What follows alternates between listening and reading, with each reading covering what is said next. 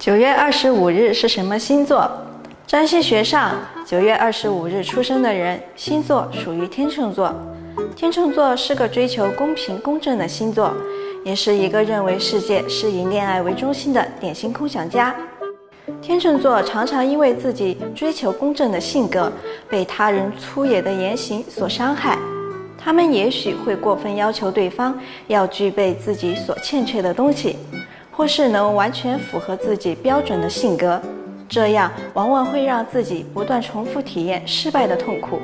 其实，天秤座期望他人具有的品格，大多隐藏在自己的内心。若天秤座能将他最富魅力的地方充分发挥出来的话，就能够感受到最大的喜悦。